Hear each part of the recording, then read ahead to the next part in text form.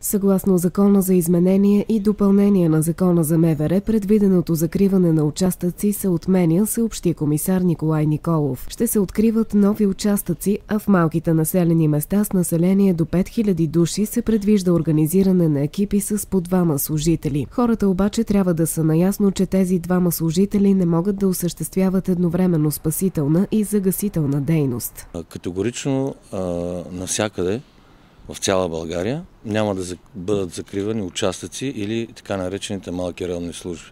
Това стана възможно а, след приемането на закон за изменение и допълнение на закона за МВР, съгласно който в най-малките населени места, да наречем общини до 5000 души, е възможно да бъдат организирани участъци с екипи от по двама души.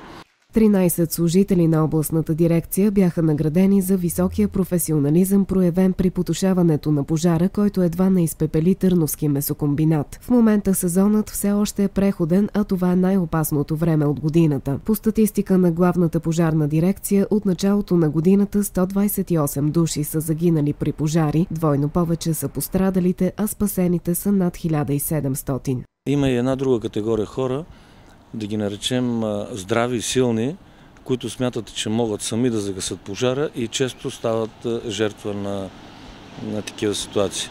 От друга страна има а, хора, които заспивайки, пушайки в леглото, вероятно след употреба на алкохол и някои други опияти, стават жертва на пожари.